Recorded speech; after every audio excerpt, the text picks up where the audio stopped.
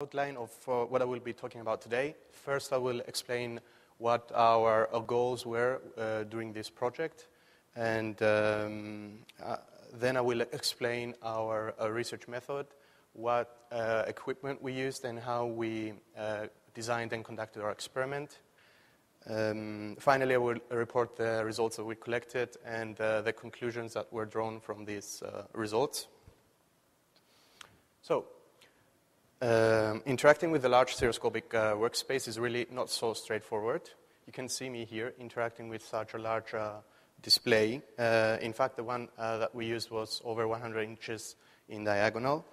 Um, I, I am using a custom-made pointer and a Wiimote to control a simple 3D modeling application where you actually build um, uh, basic shapes and move them around. So the display is really too large for direct manipulation. So therefore, we need some kind of indirect manipulation, like we use, like uh, when we use a mouse or a tablet for the 2D uh, for 2D interfaces. The question that arises here is uh, which one of those is uh, better. So our, uh, there were two goals in our uh, study. The first, first of all, we wanted to compare two different modes of 3D interaction with uh, a large stereoscopic display where uh, the, um, uh, the physical pointer is in a volume that is separate from the display volume. And um, there were uh, these two modes were uh, absolute mode and relative mode. In absolute mode, uh, the position of the of the physical pointer is ex- exactly maps to the position of the virtual pointer inside the display volume. And this is analogous to a 2D graphics tablet. Uh, in uh, relative mode, the motion of the physical pointer uh, corresponds to motion of the virtual pointer inside the display volume, but however, their absolute positions do not really correspond. And this is analogous to a 2D mouse, uh, where there is no direct correspondence between the position of the mouse and the position of the pointer inside the, uh, the 2D screen. Um, okay, so both uh, the statistical analysis that we performed and our participants' feedback uh, strongly uh, favored the uh, absolute mode of interaction over the relative mode of interaction.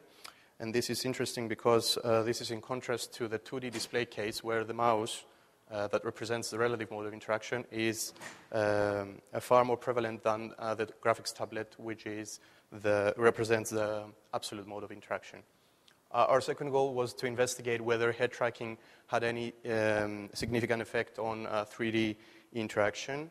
Uh, there was no statistically significant advantage to using head tracking. However, what is also interesting is that almost all of our participants strongly uh, preferred uh, using head tracking in their interaction. So, for the purposes of our experiment, we needed to implement a six degrees of freedom uh, input device that will be used as a 3D pointer. This uh, device was uh, constructed out of doweling, cardboard, and duct, duct, tape. You can see it in the middle here. And um, we needed to track this object, and uh, we also needed to track the observer's head in order to provide uh, head tracking. Uh, for this purpose, we used a Vicon uh, optical tracker system with 10 cameras. And you can see also the cup that was used to track the, the observer's head and the stereoscopic, uh, uh, the, this, the uh, polarized glasses that were used for the viewing stereo. Uh, we also used uh, to provide some uh, basic uh, buttons for triggering functionality during our experiment. The most important of this functionality was the ability to freeze the virtual pointer inside the screen, inside the display volume, in the same way that we freeze the mouse when we pick it up from uh, our table when we are working with it. So stereoscopic uh, display was provided by a DepthQ uh, stereo projector, high frequency. Um, the screen was, as I, as I, already told you, very big. It was uh, over 100 inches in diagonal, and um, the stereoscopic base was about uh, 200 uh, centimeters deep, entirely behind the screen. You can see uh, our screen here and the stereoscopic space behind. The observer here, notice the, the relative size of the display and the observer. Um, also, the manipulation space was uh, the same physical size as the perceived volume that was behind the screen, and it was centered about three meters, three meters in front of the, of the screen. So in order to compare uh, uh, relative and absolute interaction, as well as the um, effect of head tracking on 3D interaction, we designed the four-way within subjects uh, experiment. The four configurations of the experiment uh, were made out of combinations between absolute versus relative and head tracking versus no head tracking. Um, we used uh, two experimental tasks uh, for collecting enough quantitative and qualitative data on the user's experience. The first was a pegboard task, and the second was a, a simple 3D modeling task. I'll uh, tell you what this means. So the pegboard task uh, was the first task, and it captured quantitative data about the performance of uh, our participants in simple peg and assignments. So you basically had a peg, you, you, you could uh, pick it up, and you were supposed to put it in the in the hole uh, as uh, accurately and uh, as quickly as possible. So speed and accuracy were chosen as the best performance metrics for this experiment. And in order to gather, to gather enough data, there were five holes and five pegs that fit into the holes, giving a total of 20 speed and 20 uh, accuracy measurements uh, per user for all the four configurations of the experiment. Our uh, second task was uh, a simple uh, 3D modeling task that was designed to capture qualitative data about the uh, experience of the participants. And uh, the, these data was, were collected by using a questionnaire that was filled out by the participants after uh, conducting the, after completing the task. the task required the participant to draw a simple table out of axis aligned boxes uh, using a simple 3D modeling uh, interface. 10 participants uh, were recruited for the uh, user study. Uh, each of them were first asked to perform the pegboard task as fast and as accurately as possible. And a random ordering of the four experiment configurations was used in order to alleviate any learning effects. After running the pegboard task in all four configurations, uh, the participant was shown the controls for the 3D modeling task and was given about five minutes to interact with uh, the, uh, the modeling uh, task. And uh, he was then asked to build uh, this simple table in all of the four configurations of the experiment. Finally, the participant was asked to complete the questionnaire and uh, during the experiment, the behavior and the reactions and any comments of uh, the uh, users uh, were uh, recorded on paper notes. So I will uh, talk a bit about, about our results. Um, first of all, I, start, I, will start with the measurements that were collected from the pegboard task. a two-way ANOVA was run on the, all the speed and accuracy measurements that were collected to reveal any significant differences between the experiment configurations. Um, we also ran uh, two, t- two-tailed t-tests that um, uh, were conducted in a way so that any particular differences between particular pairs of the experiment configurations would be revealed. The ANOVA table and the tables and the t-tests uh, p-values can be found in our paper if, if anyone's interested. Uh, so first, starting with uh, the speed, uh, this is a box plot that illustrates the mean time uh, um, and also, also, maximum minimum uh, time to complete the, the, task in each of the four configurations of the experiment. If you take a look at the first and second uh, plots and then the third and fourth, which basically compare uh, absolute to relative interaction both with head tracking and uh, without head tracking, you will see that the mean completion time for absolute interaction is uh, significantly less than the mean completion time for relative interaction. For relative interaction, and therefore we can say that absolute interaction is indeed significantly faster than uh, relative interaction. And on the other hand, if you notice uh, number plots, the first plot and the third plot, and then the second and fourth plot, which basically compare head tracking with no head tracking, uh, both with uh, absolute and relative modes, uh, you will see that there is no um, significant uh, difference in the mean times. Uh, therefore, uh, we can say that head tracking does not have an effect on the speed of the participants. Now, moving on to accuracy, uh, this uh, box plot illustrates the lack of differences between the mean uh, accuracy for all the uh, four uh, different uh, configurations of the experiment. therefore, um, we can see that all configurations had a mean accuracy between 6 and 7 centimeters, and, and none of the values were signific- was significantly different than the others. Therefore, we can say that accuracy was not affected by the interaction mode or by the use of head tracking. Uh, this uh, plot over here uh, illustrates the lack of correlation between speed and accuracy measurements um, across all of the users for all the four configurations of the experiment. So on the x-axis we have uh, the time uh, uh, for completion, and on the y-axis we have the accuracy. And um, we can see that there is a lack of correlation by, the, by looking at the trend lines of the, of the four graphs, which are roughly horizontal. Uh, there is, however, a small trend towards better accuracy as speed decreases in the relative uh, mode of interaction, but this is not significant um, because it was very minor. Um, also, we can uh, see that uh, the relative interaction has a more dispersed, dispersed sample of speed measurements uh, than uh, absolute interaction, whose samples are highly clustered between 10 and 20 uh, seconds.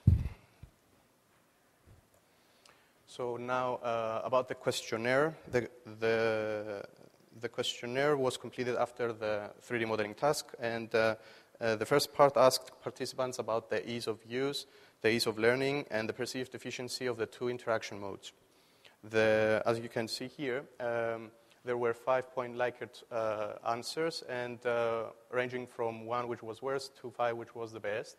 Absolute can be seen in red and uh, relative in uh, green. Uh, you can see here that um, the majority of the participants rated the absolute interaction technique as easier to learn than the uh, relative interaction technique.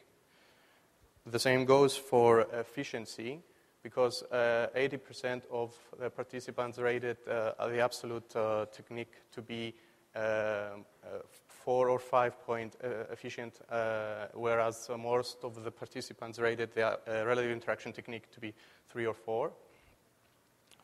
And finally, you can also see that uh, most participants uh, um, thought that absolute positioning was easier to uh, use than relative positioning. The second part of the questionnaire um, was uh, consisted of uh, five two-way selection questions. So two concerned head tracking and three concerned the interaction mode. Um, when asked uh, which mode they would uh, prefer, uh, which mode they found easier to use, nine out of ten people thought that uh, absolute mode was easier to use, and also eight out of ten people pr- would prefer using the absolute mode of interaction, although it was um, more active and potentially more fatiguing. And uh, what's interesting is that uh, this is supported by the statistical evidence, which revealed that uh, the absolute mode of interaction was faster and just as accurate as the relative mode of interaction. So, regarding the uh, head tracking, we saw that uh, 9 out of 10 people prefer using it, and all of, all of the participants thought that it, had help, it had helped them achieve better results. Although, the interesting thing is that uh, there is no statistical uh, evidence to support this. So, in conclusion, um, our study uh, indicates that absolute uh, mode of interaction should be preferred to a relative mode of interaction for 3D interfaces uh, because it is significantly faster, but it is also just as accurate and people prefer to use it. This is in contrast to 2D interfaces where the mouse is uh, favored over the graphics tablet in many tasks, including much 3D modeling work. The performance of these two interaction techniques uh, had not been investigated in previous uh, work for 3D interaction, and so further work is needed to tease out the differences between the 2D and 3D experiences. Our study also uh, uh, clearly indicates that head tracking is not an essential feature for the 3D, for the 3D tasks that were attempted. And again, um, uh, this contradicts previous work that uh, uh, suggests a significant effect of uh, head tracking for similar tasks. Again, we need further work to confirm whether the results here generalize.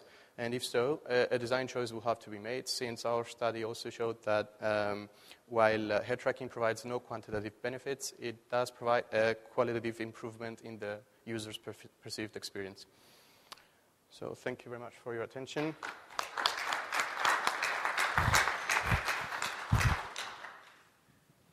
Okay, thank you. Uh, any questions? Okay. Hi, Anton Koning, Erasmus MC Rotterdam. Uh, I have two questions. First, how exactly did you implement relative manipulation with this system? Uh, I, I, didn't really uh, un uh, understand what you were saying. How exactly did you implement the relative yes, okay, manipulation? Yeah. This is a problem with short presentations because I didn't have the time to really say how we implemented that. So the relative interaction was basically uh, implemented using the Wiimote. So instead of holding the 3D pointer and moving around, and uh, the virtual pointer will follow you around in a one-to-one correspondence in the virtual uh, volume. Uh, you would use a button of the Wiimote to freeze the pointer. So you could stand, for example, in one place and uh, reach out, move the uh, virtual pointer as far as you, the physical pointer as far as you could reach, and then freeze it, bring it, uh, you would freeze the virtual pointer, bring the physical pointer back, and so on. So you would uh, essentially be standing in the same place, and the virtual pointer could be used to reach the whole of the interaction space. So there was a one-to-one correspondence between the movement and the pointer.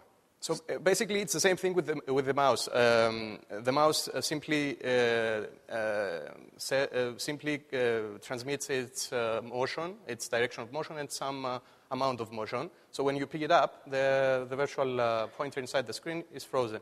We did the same thing, but because we didn't have a, a you know, a fourth dimension to use in order to freeze the pointer, we simply used a button. Did you use uh, uh, three or six degrees of freedom for the? It was six, six, degrees of freedom. You, you could move anywhere and uh, also rotate and do stuff like that. And the second question, um, you didn't find any difference between head tracking and no head tracking, which, given the fact that there is not much of an occlusion problem in this task, is not very surprising. Perhaps if you were to have a problem where there was occlusion between objects, it would be it would matter more. Uh, yeah, basically there was occlusion between the objects because uh, where, while you were trying to to build, let's say for the second task, which captured the qualitative uh, uh data, you would, we were trying to build a 3D table. Uh, so uh, while you were trying to build the table, you were supposed to make sure that the, the legs were uh, of equal height and they were aligned and that the top of the table was, was uh, placed on top of the legs without any legs poking out and, uh, and stuff. And it was the same with the pegboard task because you had um, some holes that were on the far end of the virtual space and therefore uh, you needed a sense of uh, depth uh, in order to uh, be able to put the, the, to put the peg into the hole uh, more accurately. Okay, thanks. Yeah, I think that one of the questions that he was trying to ask was, did you use the same uh, control to display ratio in both of the, uh, the uh, conditions? Yes. Oh, sorry. Uh, maybe I didn't understand well. I thought you were saying that uh, some objects were not, uh, we didn't use occluded objects. That's uh, what I understood. okay. sorry. The aspect okay. ratio was the same, yeah. Because in, you know, typically one of the reasons why, at least from my understanding, why people prefer uh, in 2D interfaces a, a relative mode is because it allows you to increase the control to display ratio and not exceed the movement box. And mm. if that's not an issue here, then it's also not necessarily uh, as surprising. Okay, yeah. Question? Okay, I have one uh, uh, quick question. Um, so you repeated, uh, you know, the task. Maybe there, you know, there are several modes, conditions. So one person did several tasks. So maybe you have observed some certain level of training effects. So So that's why we were. Uh, that's why we, we randomized the execution of the four uh, uh, configurations of to mitigate to mitigate the learning effects. Okay. Yeah. Any other question? Okay. Okay. Thanks. So you very much. Thank you very much.